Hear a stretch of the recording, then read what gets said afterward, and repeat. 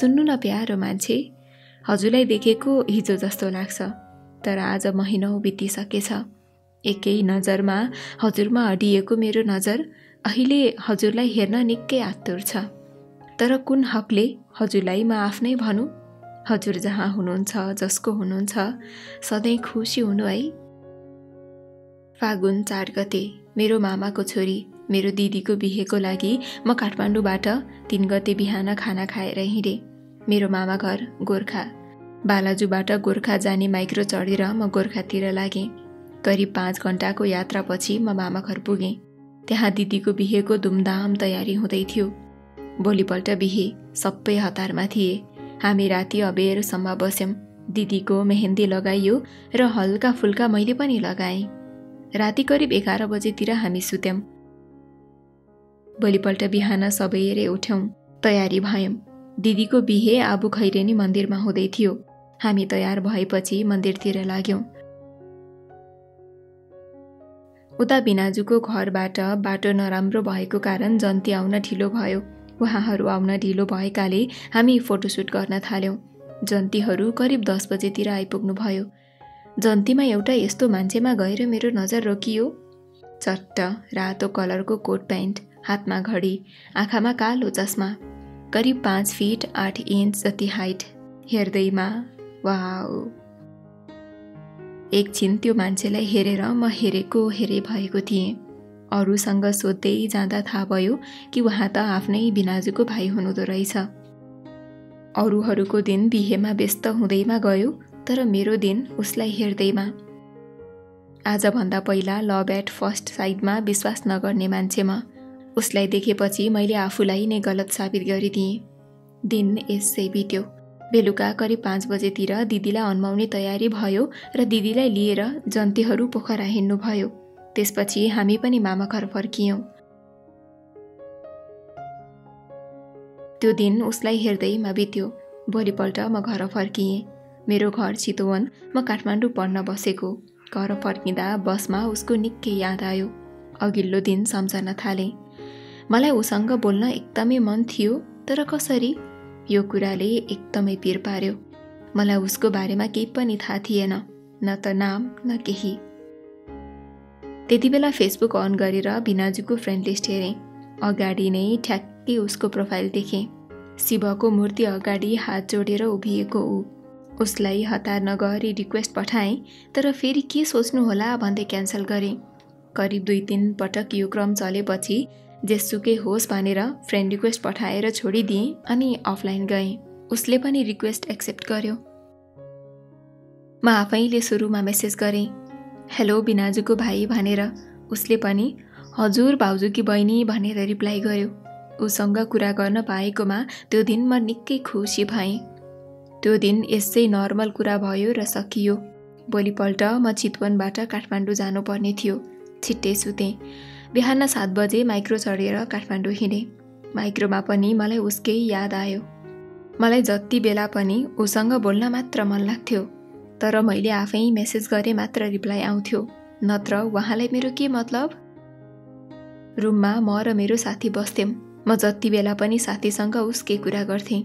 मलाई त उसको याद यति आउन थाल्यो कि बाटोमा कोही हात समातेर जोडी हिँडेको देख्दा पनि उसैलाई सम्झिन्थेँ।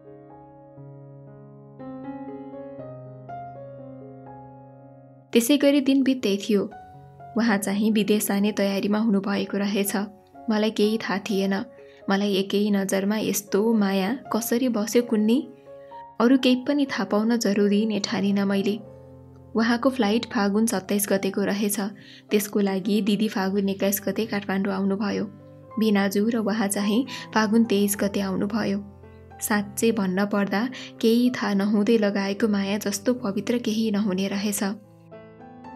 फागुन चौबिस गते फेरि उहाँलाई देख्ने दोस्रो मौका पाएँ। न्यु रोडको गल्लीमा बिनाजु र उहाँ हामीलाई कुरेर बसिरहनु भएको थियो। भेटपछि हामी उहाँको सपिङको लागि बजार डुल्यौँ। कपडाहरू जुत्ता नर्मल्ली चाहिने जति सामान किनियो र साँझ हामी उहाँको दिदीको घर लागियो। दिनभरि आफूले माया गर्ने मान्छे साथमा हुँदा मलाई कस्तो फिल भयो म शब्दमा बयान गर्न पनि सक्दिनँ। मनमा नै भगवान्लाई धेरै थ्याङ्क यू भने भोलिपल्ट पनि त्यही भयो। सपिङ गर्न हिँडियो। त्यसरी नै दिन बित्यो। मेरो उहाँप्रतिको माया दिनदिनै बढ्दै थियो। मैले केही मेरा केटी साथीहरू र एक दुईजना केटा साथीहरूलाई पनि उहाँको बारेमा भनेकी थिएँ। उनीहरूले फिलिङ्स दबाएर राख्नुहुन्न भनिदेऊ भनेर पनि भन्थे तर मलाई डर लाग्थ्यो। त्यसरी नै फागुन पच्चिस गते आयो। उहाँले यो देश छोडेर जाने दिन।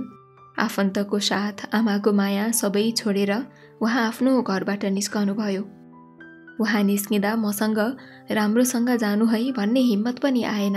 एकदम रुन मन लागेको थियो। अब दिदी भिनाजुको अगाडि रुन पनि भएन। मन एकदम गरुङ्गो भयो। पढ्न भनेर गएको म मलाई काठमाडौँ पनि बस्न मन लागेन। अनि बाबालाई फोन गरेर मलाई यहाँ बस्न मन छैन म घरै आउँछु भनेर रोएँ। बिचरा बाबाको माया आफ्नो सन्तानको आँखामा आँसु देख्न कहाँ सक्नुहुन्थ्यो र आउन त भनेर भन्नुभयो। उहाँले देश छोडेको पन्ध्र दिनपछि मैले पनि उहाँको याद दिलाउने काठमाडौँ छोडिदिएँ। म उसलाई यति चाहन्थेँ कि ऊ भन्दा अरू केटासँग बोल्न पनि मन लाग्दैनथ्यो। चैत दस गते म चितवन आएपछि अठार गते मामा घर गएँ। त्यो बेला दिदी पनि गोर्खा हुनुहुन्थ्यो। दिदीसँग म उसको घर पोखरा पनि गएँ। मनमा ऊप्रति माया थियो। म उसको घरमा थिएँ तर ऊ थिएन। मलाई निकै उकुस मुकुस भएको थियो। कोही कोहीले त तिम्रो पनि यतै बिहे गरिदिन पाए हुन्थ्यो भनेर भन्नुहुन्थ्यो। त्यो बेला मैले उसैलाई सम्झिन्थेँ। उसले उसको घर बाहिरको सबै फुल मैले रोपेको हो भनेर भन्दै थियो। मलाई त्यो फुलहरू पनि यति प्यारो लाग्यो कि अलिकति चुडेर लिएर आएँ। त्यो अहिले पनि मसँगै छ। मैले उसलाई गर्ने माया दिनदिनै बढ्दै थियो। तर उसलाई भन्ने हिम्मत थिएन।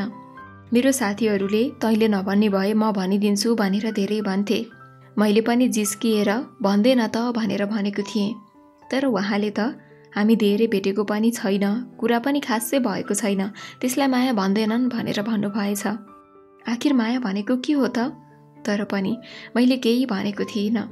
एक दिन चाहिँ बहुत हिम्मत गरेर आफ्नो फिलिङ्स आफै सेयर गर्छु भनेर मेसेज लेखेँ। तर त्योभन्दा पहिले नै लभ गर्नुहुन्न के पछि जे पनि हुनसक्छ भनेर उहाँले मेसेज छोड्नु भएको रहेछ। त्यो मेसेज देखेपछि मेरो सबै सपना टुट्यो। मैले केही भन्ने हिम्मत गरिनँ। त्यही पनि मनको कुरा चाहिँ भने उहाँले माया गर्छौ ठिक छ तर मलाई यो लभ रिलेसनसिपमा बसेर टेन्सन थप्नु छैन भनेर ठाडै जवाफ दिनुभयो। त्यो दिन म यति रोएँ कि सायद त्यति धेरै त म कहिले पनि रोएको थिइनँ। उसको मनको कुरा नबुझिएको हो र पछि लाग्नु मेरो नै गल्ती हो। तर माया कहाँ कसरी कोसँग हुँदो रहेछ थाहा नै नहुने रहेछ।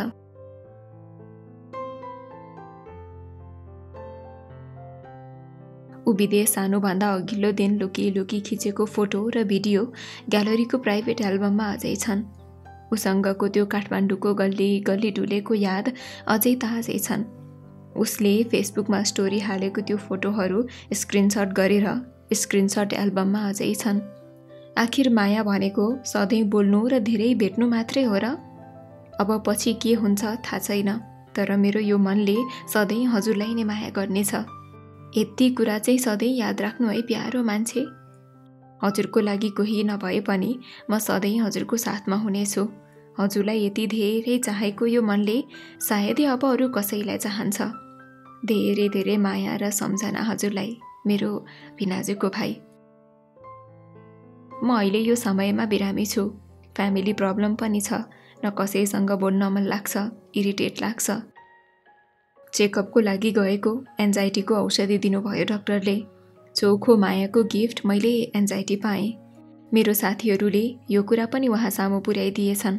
अनि उहाँले यति क्रेजी नभन है भनेर भन्नुभयो। उहाँलाई कसरी भनौँ? यो मनले कति चाहन्छ भनेर। आफूले आफैलाई दुःख दिने मेरो पनि त चाहना होइन नि। एक दिन साँझमा उहाँले मलाई फोन गर्नुभयो। मलाई निकै डर लागेको थियो तर पनि उठाएँ। करिब पाँच महिनापछि उहाँलाई देखेको। एकदम खुसी लाग्यो। अब उहाँले के सोचेर फोन गर्नुभयो त्यो त थाहा छैन। सायद दया लाग्यो कि? पाँच मिनट जति बोलेपछि फोन राख्छु है भनेर भन्नुभयो। बोल्न त धेरै मन थियो तर पनि हुन्छ भनेर भने। फोनमा बोल्ने क्रममा मैले धेरै उहाँको फोटो स्क्रिनसट गरेँ। माया गरेपछि पाउनै पर्छ भन्ने पनि छैन तर गुमाउन मन त कसलाई हुन्छ र? सायद अब उहाँले मेसेज गर्नुहुन्न होला अनि म आफैले मेसेज गर्ने हिम्मत पनि छैन। कहिले काहीँ त लाग्छ म दिदीको बिहेमा नगएको भए पनि त हुन्थ्यो। समय परिवर्तनशील छ। सायद हाम्रो भेट नहोला फेरि भन्न सकिन्न। कुनै गन्तव्यमा मेरो माया बुझ्नुभयो भने सम्झिनु है। मैले आफूलाई सम्हाल्न धेरै खोजेँ तर पनि हरेक समय उसैको याद आउँथ्यो। दिमागले अब ऊ तेरो हुन सक्दैन त अघि बढ्नै पर्छ भन्थ्यो तर मन कहाँ मान्थ्यो र? दिल र दिमागको लडाइँमा जित हमेसा दिलको नै हुन्थ्यो। रुन्थेँ कराउँथेँ तर के गर्नु? उसले मेरो भर नपर है भनेर भनेको थियो। आखिर उसले मेरो मायामा विश्वास गर्दैन थियो कि मायाबाट नै उसको विश्वास उडेको थियो मलाई जान्न मन थियो र उसलाई सोधेँ। पहिला कोही थिए रे उसको जीवनमा? जो तिमीलाई नपाए मर्छु भने पनि आखिर उसले नै छोडेर गएन रे। उसको कुराले म अवाक भएँ। अब के भनौँ भनेर सबै एउटै हुन्नन् भनेर त भने तर उसले हामी बीच कुरा नभए पनि माया छ भनेर भन्थ्यो। त्यसपछि केही भन्ने हिम्मत नै आएन। ऊ अझै पनि उसलाई माया गर्छ जसले उसलाई छोडेर गएकी थिए उसले पनि आफ्नो प्रेम पाएन तर पनि ऊ एकहोरो माया गरिरहेको छ। सायद म पनि त्यही गर्दैछु। उसले भन्छ माया बेकार छ। तिमी बच्चै छौ। माया बुझ्दैनौ अहिले तिमी होइन अहिले तिमी भित्रको पागलपन हो बोलेको भनेर। अरे म तिमीलाई कसरी भन्नु? मायाले उमेर जात धन सम्पत्ति केही हेर्दैन भनेर।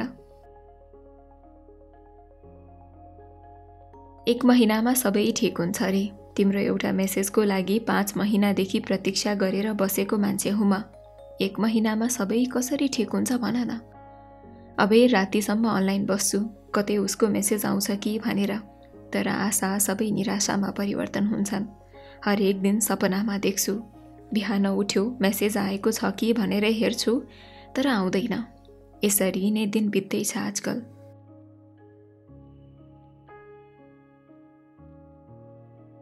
कथा सुनिरहँदा तपाईँहरूको मनमा पनि कति धेरै कुरा आइरहेको होला है? मलाई चाहिँ उहाँलाई के भन्न मन लाग्यो भने अहिले तपाईँ जुन अवस्थामा हुनुहुन्छ त्यो अवस्थामा नर्मल हुन पनि सजिलो अवश्य छैन तर यो सबै भनेको एउटा आकर्षण हो जस्तो मलाई लाग्छ। फेरि त्यो भनेर तपाईँले गर्नुभएको प्रेम साँचो होइन भन्न खोजेको पनि होइन। तर हामी चाहिँ जीवनमा अगाडि बढिरहँदा हाम्रो उमेरको प्रभावसँगै कहिलेकाहीँ हामीलाई देखेका केही चिजहरूमा यति मिठो प्रेम भइदिन्छ यति मिठो आकर्षण भइदिन्छ हामी त्यसमै डुबिदिन्छौँ।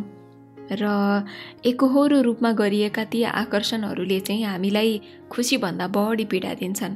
त्यसैले एकहोरो आकर्षण एकहोरो प्रेम कहिलेकाहीँ घातक हुन जान्छ। तपाईँलाई थाहा छ कि उहाँले तपाईँलाई प्रेम गर्नुहुन्न तपाईँको र उहाँको भविष्य पनि छैन भनेदेखि चाहिँ तपाईँ अगाडि बढ्नु नै सबैभन्दा ठिक हुन्छ। अगाडि बढ्न गाह्रो छ सजिलो अवश्य छैन तर असम्भव पनि छैन। यसलाई चाहिँ जीवनको एउटा पाठ सम्झेर अगाडि बढ्नुहोला। मेरो जीवनमा मलाई ठुलो पाठ सिकाउन आएको पल हो यो भनेर लिएर अगाडि बढ्नुभयो भनेदेखि पक्कै पनि तपाईँ केही सहज रूपमा अगाडि बढ्न सक्नुहुनेछ। तपाईँले भन्नुभयो तपाईँलाई चाहिँ अहिले एन्जाइटी डिसअर्डर भइरहेको छ भनेर। त्यसको लागि चाहिँ तपाईँले आफ्नो मनको कुराहरू मनका भावनाहरू चाहिँ यस्तो व्यक्तिसँग सेयर गरिरहनुहोस् जसले तपाईँलाई जज गर्दैन तपाईँको अवस्थालाई जज गर्दैन र तपाईँको कमजोरीको फाइदा उठाउँदैन।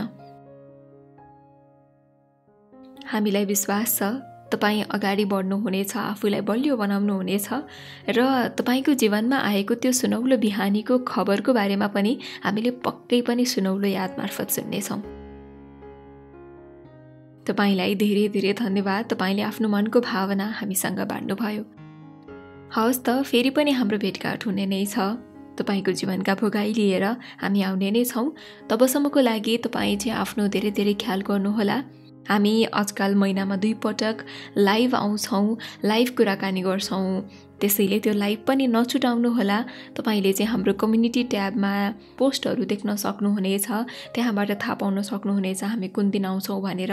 र साथसाथै हाम्रो च्यानललाई सब्सक्राइब गरेर नोटिफिकेसन अन गर्नुभएको छ भनेदेखि त हामी लाइभ जानुभन्दा अगाडि नै तपाईँले नोटिफिकेसन पनि प्राप्त गर्नुहुनेछ। आफ्नो धेरै धेरै केयर गर्नुहोला ख्याल गर्नुहोला आफूले आफैलाई पनि माया गर्नुहोला र अनुहारमा त्यो मुस्कान रूपी गहनालाई लगाइरहनुहोला। नमस्कार तपाईँलाई हाम्रो तर्फबाट धेरै धेरै माया।